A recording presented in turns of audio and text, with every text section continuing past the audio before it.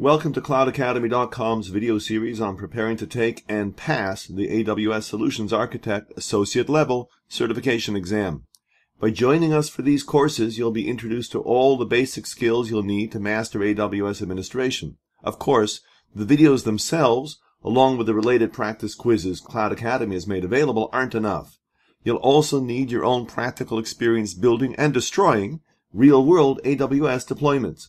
But we can certainly give you the tools and guidance to make that possible. AWS currently offers five separate certification exams. Solutions Architect certification is available on two levels, associate and professional. The professional level requires all the same knowledge and skills of the, of the associate version, plus familiarity with complex, multi-tiered, and enterprise-wide deployments. Our present course focuses exclusively on the associate level. A successful AWS certified developer, currently available only at the associate level, is able to successfully develop and maintain applications on the AWS platform. Now, the material covered by the SysOps Administrator exam, also available only at the associate level right now, would seem on first glance to overlap with the Solutions Architect certification. SysOps, however, would appear to expect greater knowledge of ongoing operational management and implementation rather than initial application and server deployment.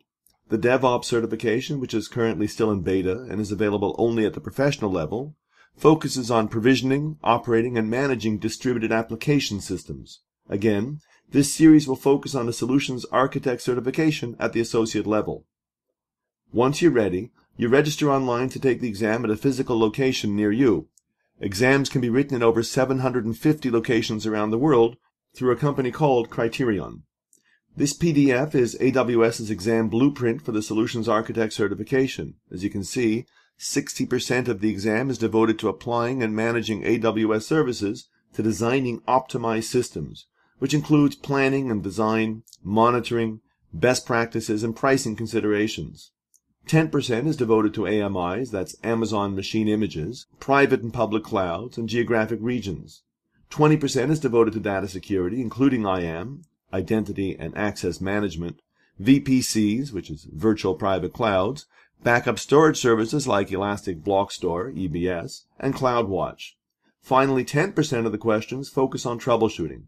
You will face two types of questions multiple choice, from which you'll select one correct answer, which might require a point and click selection, and multiple response, for which there could be more than one correct response.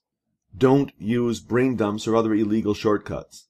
Besides the fact that you could face severe penalties, you're simply not doing yourself any favors. This exam reflects real world skills. If you can't pass it on your own, you just won't be at all effective using AWS services. Who wants to hire a guy without skills? Rely on AWS's own documentation, facts, and white papers. They're usually of very high quality and are accessible either from right on a particular service's dashboard page or from the documentation section of the site. And definitely don't forget to take Cloud Academy's practice exam quizzes. They might be a bit more demanding and fine detail oriented than the actual AWS certification exam, but if you do well on your quizzes, you know you're ready to ace the real thing. Besides the key skills presented in these videos, you will definitely need practical experience.